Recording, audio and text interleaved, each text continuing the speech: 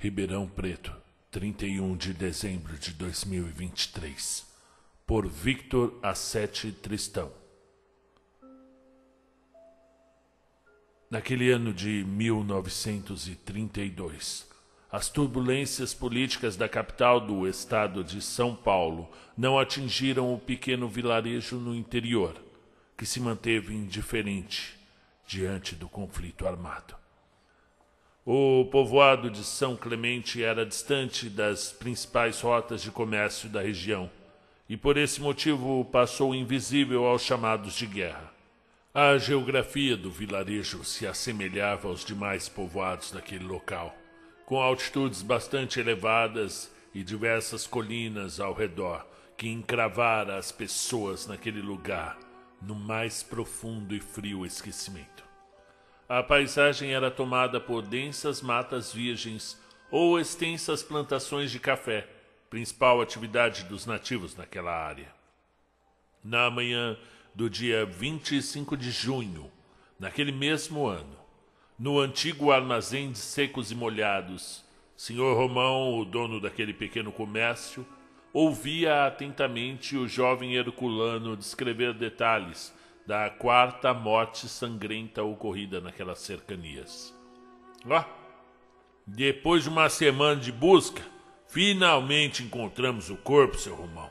Eu e o padrinho tivemos que subir com os cachorros aquela mata acima do Rio Pardo para pegar o rastro do cheiro do menino. E mesmo depois que os cachorros pegaram a pista, ainda foram mais três noites embrenhados na mata até encontrar o, o cadáver disse Herculano com os olhos vazios, após dar uma tragada em seu cigarro e tomar um gole de café. Herculano era afilhado de Isidoro, ambos nativos daquele povoado, de famílias antigas, ambos também eram exímios caçadores. Isidoro, bem mais velho, passou os últimos anos ensinando ao jovem e robusto Herculano todos os atalhos e pormenores da região, bem como todos os segredos da arte da caça que lhe tinham sido passados por um índio que há muito morrera, chamado Urutau. Por conta dessa perícia, ambos foram os escolhidos pela gente do povoado para encontrar os corpos das pessoas, as pessoas que foram assassinadas nos últimos meses. Os três primeiros corpos não foram encontrados. Já o corpo do menino João Neves teve destino diferente. Ah, o menino, o menino estava todo estraçalhado, seu Romão. Deus tenha piedade da família. Aqui não é ombra de onça, não, tenho certeza. Não existe bicho nesse mundo que tenha dente para fazer aquele estalho na carne. Disse novamente Herculano, olhando para o seu padrinho, quase pedindo por confirmação do seu relato. Isidoro era um homem alto como Herculano, porém magro, sulcado pelo tempo e com um bigode negro que lhe conferia um ar soturno e ameaçador, ornando os seus olhos negros e profundos, quase escondidos por debaixo da aba do chapéu. Isidoro então disse com aquela voz baixa e grave, olhando fixamente para o fio de sua faca de caça: Aquilo não é onça um silêncio móbido cobriu o pequeno armazém depois dessa afirmação tão categórica de Isidoro. Deixa eu te mostrar uma coisa, convidou Isidoro, saindo da pequena mercearia junto de Herculano em direção aos cavalos. Romão os acompanhou e todos caminharam a passos lentos, oprimidos, até chegarem aos cavalos. Quando chegaram, Romão viu em cima da cela o dorso do garoto João Neves, totalmente dilacerado, embebido em sangue seco cor de vinho, tingindo a camisa amarela xadrez do menino. As pernas cortadas pouco abaixo da canela, um dos braços rasgados à altura do ombro e a caixa torácica aberta por cortes profundos. O fedor se espalhava e penetrava fundo nas narinas daqueles homens a cena era grotesca. Jesus Cristo! exclamou Romão, fazendo um sinal da cruz em seguida. Após uma leve ânsia de vômito, Romão perguntou: O que, vocês vão fazer agora? Nós vamos levar o corpo para a igreja e pedir para o padre benzer, disse Herculano fitando o cadáver. Isidoro assentiu com a cabeça e perguntou quanto tinha dado a conta. Romão disse que o café e o pão dessa vez era por conta da casa. Isidoro novamente perguntou se poderia ir lavar as mãos no fundo, e Romão concordou. Quando ficaram sós os dois próximos ao corpo dilacerado, Herculano, acariciando seu cavalo, disse: O padrinho acha que é lobisomem. Bobagem! exclamou Romão. Isso aí deve ser coisa de onça grande concluiu o dono do armazém, alisando sua farta barba grisalha. Isidoro voltou dos fundos do armazém. Agradeceu novamente a Romão e então rumaram para o centro do pequeno vilarejo. Cruzaram os cafezais em silêncio. Até Brutus, o cachorro vira-lata de Isidoro, estava completamente consternado. Somente o farfalhar das folhas causado pelo vento frio daquele inverno e a batida dos cascos dos cavalos eram ouvidos no local. Ao chegarem, o escândalo na cidade foi inevitável. Muitas pessoas que ali estavam testemunharam o horror da cena. O desfile do corpo retalhado, acompanhado pelas moscas e pelo odor fétido da putrefação o pai, a mãe e os dois irmãos da vítima choravam desconsolados em frente à igreja. Após o funeral do menino, a poeira abaixou depois de alguns dias e o povoado voltou à sua rotina, sem nunca, é claro, esquecer das mortes, assunto quase obrigatório em todos os círculos. Certo dia, já em meados de julho, Isidoro chamou Herculano para pescar. Herculano sabia que isso era um jeito do seu padrinho para lhe pedir que parassem e passassem algum tempo juntos, já que Isidoro era um homem muito fechado, de quase nenhum amigo. Ao chegarem na beirada do rio Pardo, os dois desmontaram, amarraram seus cavalos e passaram a preparar as varas e as iscas. Herculano, enquanto colocava minhoca no anzol, disse: Padrinho, o problema lá do lobisomem. Foi para isso mesmo que eu te chamei aqui hoje, disse Isidoro, interrompendo o Herculano e arremessando a chumbada nas águas que corriam mansas. Amanhã é noite de lua cheia. O bicho vai voltar. E a gente tem que dar um fim nele, disse Isidoro de forma circunspecta. É, pelo que eu sei, a gente só mata lobisomem com bala de prata disse Herculano olhando fixamente o correr das águas. É verdade, concordou Isidoro. Mas aqui na vila não tem prata que eu saiba. E eu acho difícil convencer alguém lá das vilas vizinhas a fazer essa doação. Também é verdade. Já falou com o padre? Às vezes ele pode ter alguma prataria. Indagou com certa esperança Herculano. Eu já falei, e ele não tem. Então como é que a gente vai fazer? Eu lembrei de uma coisa que o Urutau me ensinou, disse Isidoro, enquanto fisgava um peixe com força e o puxava para fora do rio. No dia seguinte, por volta das 18 horas, que antigamente a gente chamava seis da tarde, ou hora da Ave Maria, a noite caía abraçando a pequena aldeia de trevas e o vento lambia a folhagem das matas e dos cafezais, tornando tudo especialmente macabro.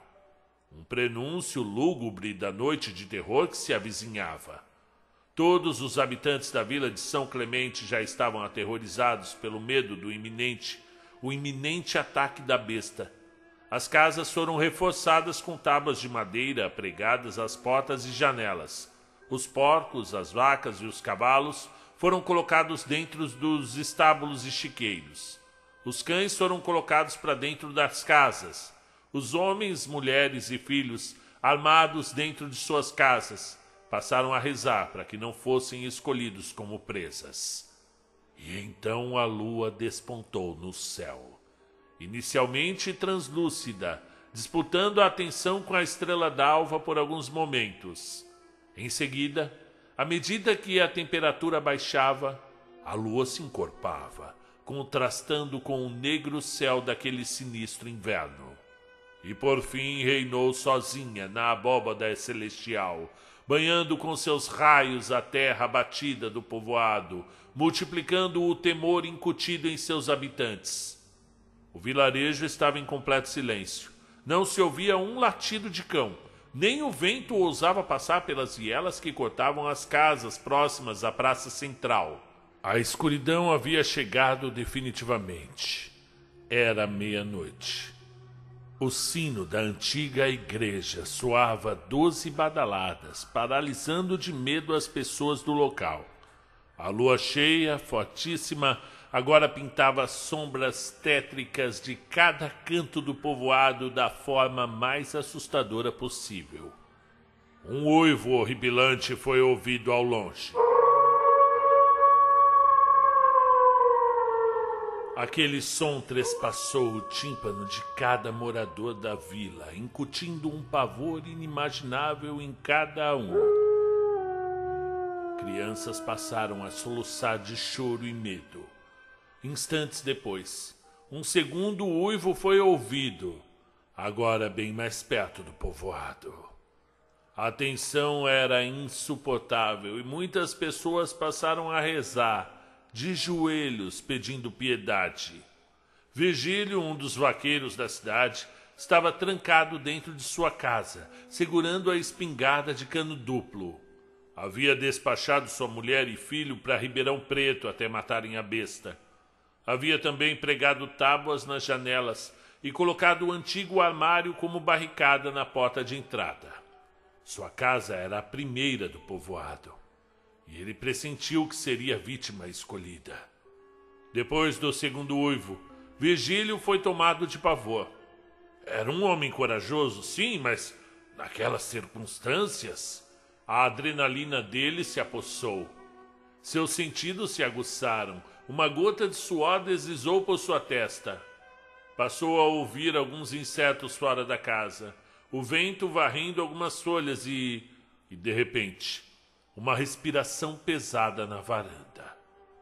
Era aquela respiração ofegante e potente de algo que estava correndo e que agora tinha parado subitamente em frente à sua casa.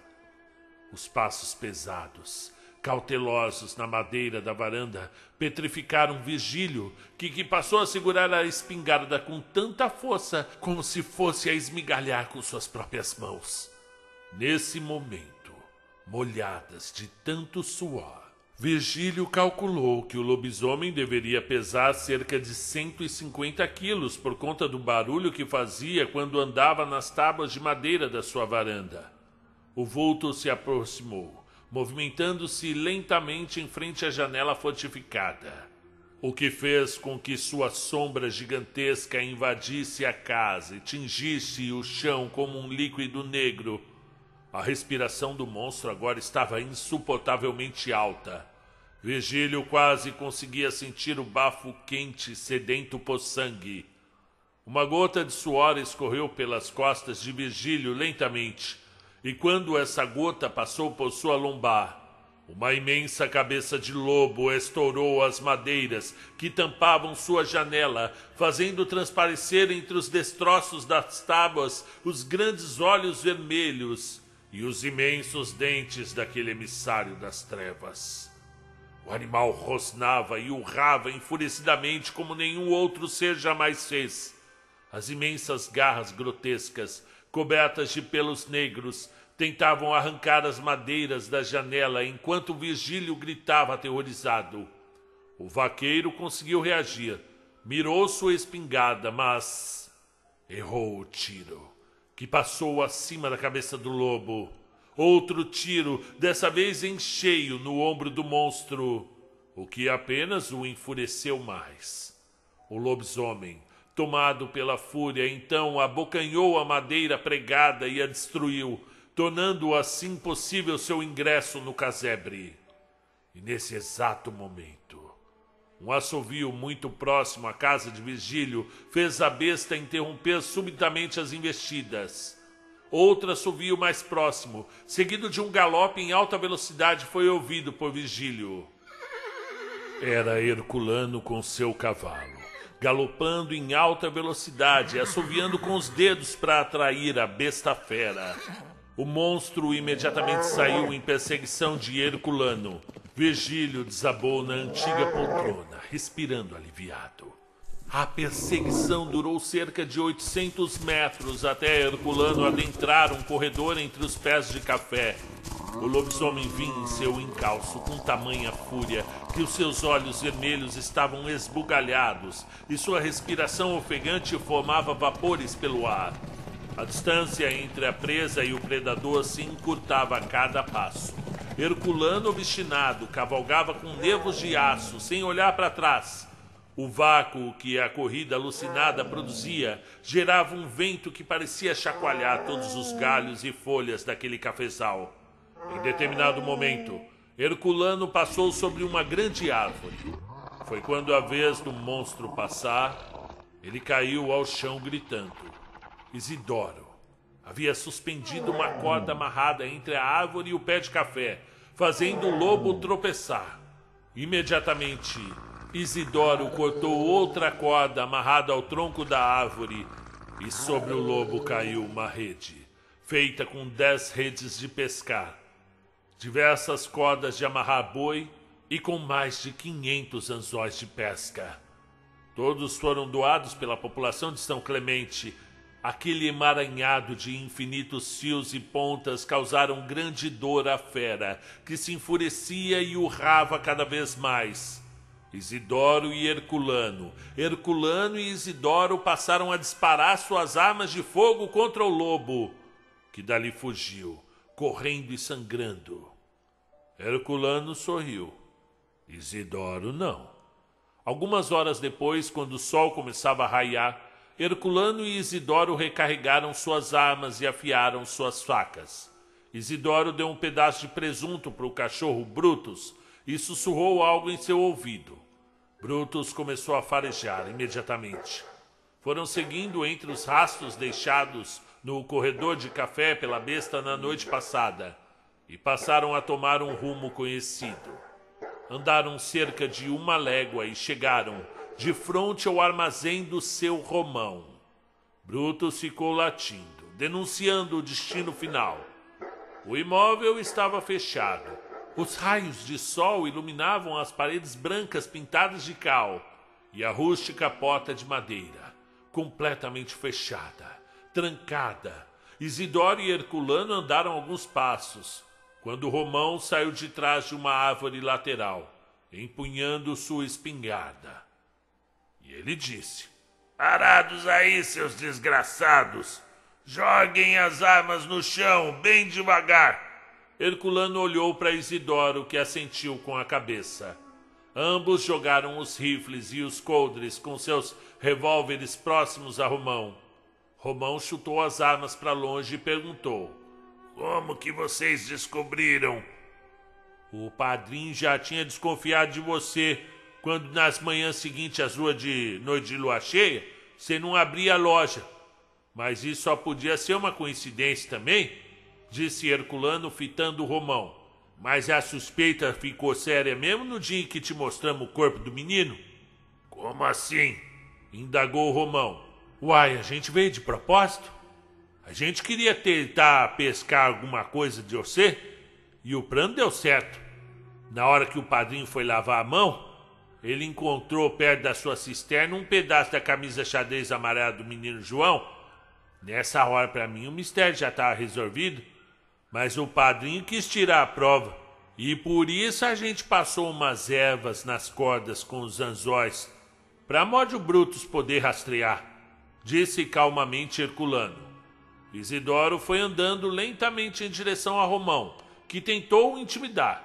Parado aí, peão! Isidoro sacou sua faca de caça. O sol da manhã reluziu na lâmina de vinte centímetros. Romão puxou o gatilho mas a espingarda não disparou. Isidoro, em um movimento rápido e fluido, como num passo de dança, trespassou as costelas de Romão com a faca e a girou. Ele sabia que tinha acertado o coração. Romão deu alguns passos para trás. O sangue começou a manchar sua camisa e ele olhava fixamente para Isidoro, incrédulo. Outra coisa, seu Romão, naquele dia, o padrinho também substituiu todos os seus cartuchos de espingarda, só por garantia, disse por fim Herculano. Romão cambaleou mais alguns passos e caiu morto. E desde aquele dia, a vila de São Clemente nunca mais foi atacada nas noites de lua cheia. Fim da história. De Victor Assetti Tristão, para o canal Conto um Conto.